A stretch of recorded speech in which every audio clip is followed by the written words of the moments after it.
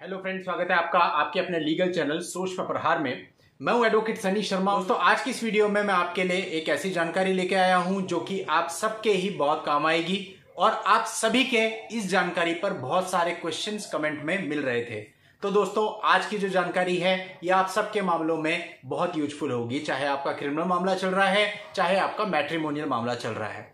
दोस्तों, हम बात कर रहे हैं कॉल रिकॉर्डिंग्स की।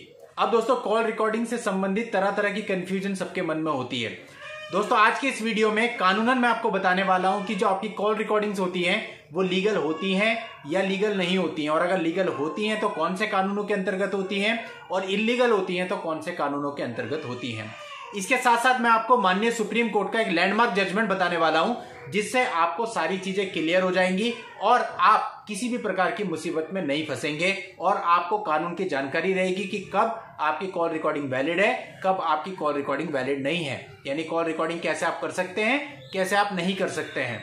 अब जनरली क्या होता है कि कुछ लोग कहते हैं कि भाई कॉल रिकॉर्डिंग आप कर सकते हो कॉल रिकॉर्डिंग करना वैलिड है। लेकिन कई बार आपको सुनने में मिलता है और आप लोगों के प्रश्न भी आते हैं कि, सर, ये राइट टू प्राइवेसी का उल्लंघन तो नहीं है, वहाँ पे हमें कोई प्रॉब्लम तो नहीं आ सकती है? तो आपके सारे ही क्वेश्चंस का समाधान आज के इस वीडियो में आपको कानून के साथ मिलने वाला है। वीडियो को स्किप बिल्कुल मत कीजिएगा। जिनके भी, जो भी केस कोर्ट में चल रहे हैं, उन सबके लिए ये वीडियो बहुत ही इंपॉर्टेंट है। और दोस्तों, आगे बढ़ने से पहले बस आपसे ये रिक्वेस्ट है कि आपने अभी तक चैनल को सब्सक्राइब नहीं किया है तो चैनल को सब्सक्राइब करके नोटिफिकेशन बेल पर ज़रूर क्लिक कर लें और वीडियो के नीचे डिस्क्रिप्शन में आपको हमारे इंस्टाग्राम और ट्विटर अकाउंट का लिंक मिल जाएगा। वहाँ जाकर हमको ज़रूर फॉलो कर लें। तो चलिए दोस्तों, पूरे कानून को समझते हैं। अब दोस्तों, सबसे पहले हम बात करते हैं कानून की द इंडियन टेलीग्राफ एक्ट 1885 ये एक्ट काफ़ी पुराना है, लेकिन आपके इस सवाल पर ये बिल्कुल सीधा जवाब देता है और इसके सेक्शन 25 में कॉल रिकॉर्डिंग के बारे में बिल्कुल क्लियर है। यानी कि इसका सेक्शन 25 ये कहता है कि यदि आप अपनी कॉल को रिकॉर्ड करते हैं तो वो किसी भी प्रकार का अपराध नहीं है।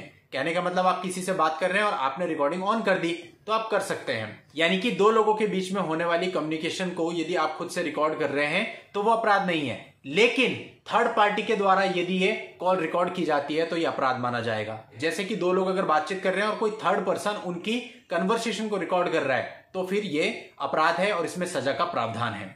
अब दोस्तों, दूसरे एक्ट की हम बात कर लेते हैं। दूसरा एक्ट है इंफॉर्मेशन टेक्नोलॉजी एक्ट इस एक्ट के अंतर्गत ऐसा कुछ भी स्पष्ट कॉल रिकॉर्डिंग के बारे में नहीं कहा गया है।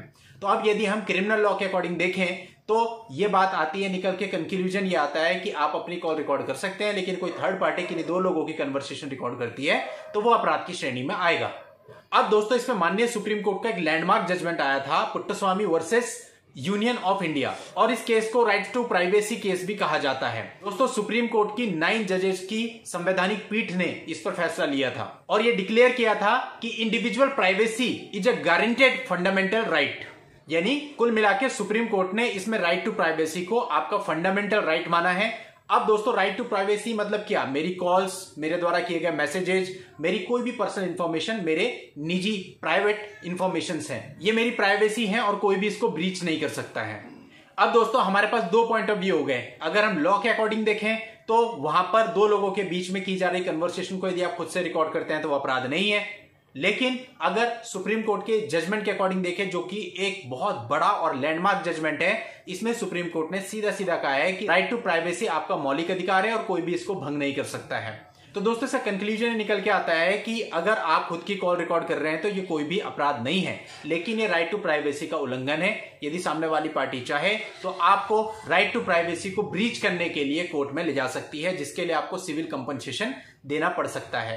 लेकिन क्रिमिनल लॉ के अकॉर्डिंग ये कोई अपराध नहीं है, जब तक कि कोई थर्ड पर्सन इसे ना कर रहा हो। तो मैं समझता हूँ कि जितना मैंने आपको बताया, उससे अब आपको बिल्कुल क्लियर है कि आप कॉल रिकॉर्डिंग कब कर सकते हैं, कब नहीं कर सकते, कैसे कर सकते हैं, कैसे नहीं कर सकते अब दोस्तों, देखो यहाँ पर लीगल कॉल रिकॉर्डिंग तब होगी, जब आप किसी से बात कर रहे हैं, आप उसको रिकॉर्ड कर रहे हैं। फॉर एग्ज़ाम्पल मैट्रीमोनियल केस की बात करें तो आप अपनी वाइफ से बात कर रहे हैं, आपने उस कॉल को रिकॉर्ड कर लिया। या वाइफ अपने हस्बैंड से बात कर रही है, उसने उसको रिकॉर्ड कर लिया। या आप वाइफ के किसी रिलेटिव से डायरेक्टली बात कर रहे हो, आपने उस कॉल को रिकॉर्ड कर लिया। तो इंडियन टेलीग्राफ एक्ट के सेक्शन 25 के अकॉर्डिंग ये रिकॉर्डिंग वैलिड होगी। लेकिन यदि आपकी वाइफ किसी और से बात कर रही है और आप उसको रिकॉर्ड कर रहे हैं तो फिर ये इनवैलिड रिकॉर्डिंग कहलाएगी, यानी इलीगल रिकॉर्डिंग कहलाएगी, क्योंकि यहाँ पर आप थर्ड पार्टी हो गए, दो लोगों के बीच में होने वाली कन्वर्सेशन को आपने रिकॉर्ड किया। बाकी दोस्तों समय समय पर तरह तरह के जजमेंट आते रहते हैं, जहाँ पर कुछ चीज़ों को वैलिड और कुछ चीज़ों को इनवैलिड बता दिया जाता है। काफ़ी स्टडी के बाद, मामले को परखने के बाद, मामले को जांचने के बाद। तो उनसे भी हमें पता चलता है कि चीज़ें कैसे आगे बढ़ेंगी। फ़िलहाल जो लॉ है, वो मैंने आपके सामने रख दिया और मैं उम्मीद करता हूँ कि आप सब समझ गए होंगे कि कब आप कॉल रिकॉर्डिंग कर सकते हैं, कब नहीं कर सकते, कैसे कर सकते हैं, कैसे नहीं कर सकते। एक और वीडियो आपके लिए लेके आऊँगा, जिसमें मैं आपको क्लियर करूँगा व्हाट्सएप चैट के बारे में व्हाट्सएप मैसेज के बारे में कि वो कब वैलिड होती है, कब वैलिड नहीं होती और किस प्रकार से आप उनको कोर्ट में पेश कर सकते हैं एज एविडेंस जिससे कि आपको न्याय मिल सके।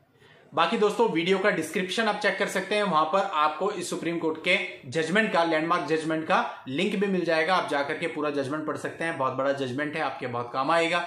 नेक्स्ट वीडियो में नई लीगल जानकारी के साथ मैं आपसे फिर मिलता हूँ। तब तक के लिए goodbye and thank you for watching take care